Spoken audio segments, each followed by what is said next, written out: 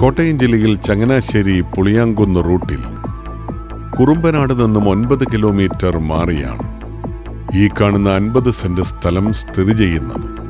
ഈ സ്ഥലത്ത് കപ്പയാണ് കൃഷി ചെയ്തിരിക്കുന്നത്.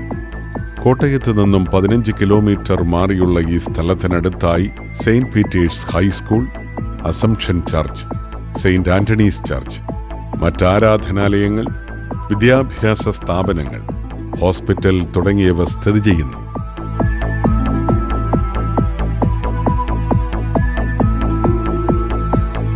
കോട്ടയം ജില്ലയിൽ ചങ്ങനാശ്ശേരി പുളിയാങ്കുന്ന് റൂട്ടിൽ കുറുമ്പനാട് നിന്നും ഒൻപത് കിലോമീറ്റർ മാറിയുള്ള ഈ സ്ഥലം സ്വന്തമാക്കുവാൻ ആഗ്രഹിക്കുന്നവർ വിളിക്കേണ്ട നമ്പർ.